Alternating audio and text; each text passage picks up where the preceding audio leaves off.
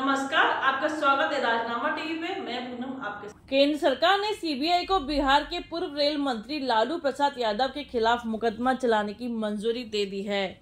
CBI ने जानकारी Rouse Avenue court को दी है। इससे पहले 18 सितंबर को राउस एवेन्यू कोर्ट ने ज़मीन मनी लॉन्ड्रिंग मामले में बिहार के पूर्व सीएम लालू प्रसाद यादव, तेजस्वी यादव और अन्य आरोपियों को समन जारी किया था। पहली बार कोर्ट ने इस मामले में लालू के बड़े बेटे तेज प्रताप अखिलेश्वर सिंह और उनकी पत्नी किरण देवी को भी समन भेजा है। कोर्ट ने यह भी कहा कि तेज प्रताप यादव की संलिप्तता से इनकार नहीं किया जा सकता।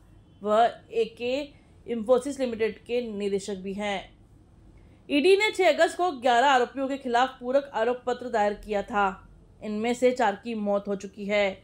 इसमें ललन चौधरी हजारी राय धर्मेंद्र कुमार, अखिलेश्वर सिंह, रविंद्र कुमार स्वर्गीय लाल बाबू राय, सोनमतिया देवी, स्वर्गीय किशुन देव राय और संजय राय शामिल हैं।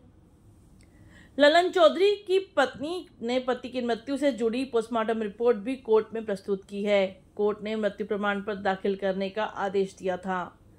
इस मामले में अब सात अक्टूबर को अगली सुनवाई होगी। सभी को कोर्ट में पेश होना होगा।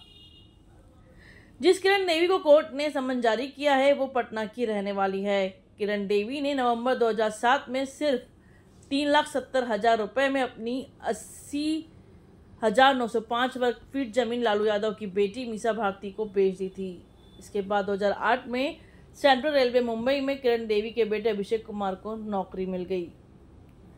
लैंड फॉर जॉब मामले में राजद प्रमुख लालू यादव के करीबी सहयोगी और अमित काताल्य को दिल्ली हाईकोर्ट ने नियमित जमानत दे दी है। न्यायमूर्ति नीना बंसल कृष्णा की पीठ ने कहा कि आरोपी लगातार जाँच में शामिल हो रहा है और किसी भी स्तर पर पूछताछ के लिए जारी समन से बचने की कोशिश नहीं की है।